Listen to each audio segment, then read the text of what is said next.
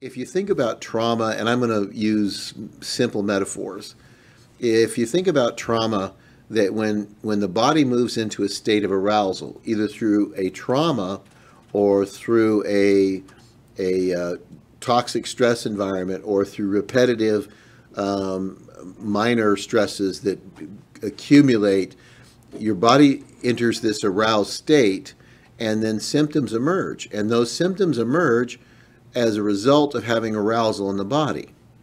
And if you want to use a simple metaphor for that, you can think of it as this is that when the body emerges into arousal, it's like the body moving into Hulk mode, if you're familiar with Marvel Comics. They've moved out of Bruce Banner mode and into Hulk mode. Well, that's great.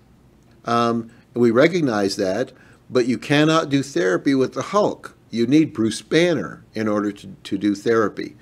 So, regardless of the model of treatment that you decide to use, the first order of business is get them back into Bruce Banner mind, Bruce Banner brain, if you will, get them into a place where they have their executive functioning, where they have access to executive functioning, where they can create distinctions, they can create sequence, they can um, look at a process without becoming emotionally overcharged by it.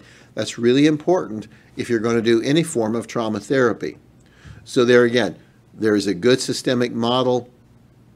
Um, again, the internal family systems model. Another good systemic model for working with trauma is Charles Figley's um, uh, uh, family empowerment model, which it looks at looks at trauma, dealing with trauma through a systemic family approach.